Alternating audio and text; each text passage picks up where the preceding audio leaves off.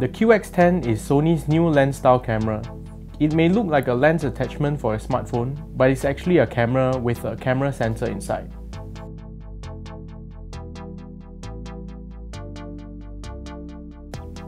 It features an 18.2 megapixel CMOS sensor with a Sony G lens that's capable of 10 times optical zoom.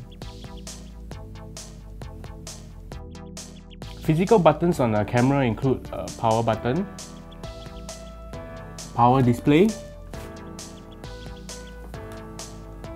zoom toggle and the shutter release button.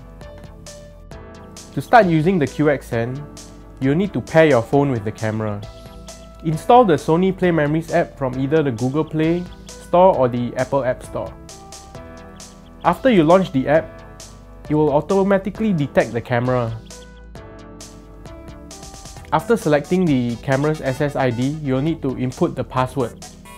The password can be found on the first page of the user manual.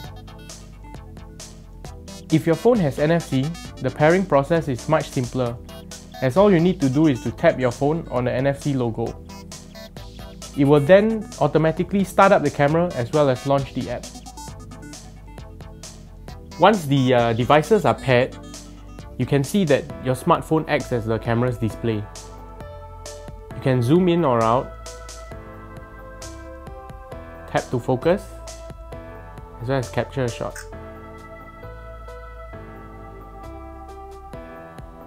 Since the devices are connected via Wi-Fi, you, can actually place the camera somewhere else and remotely control it with your smartphone.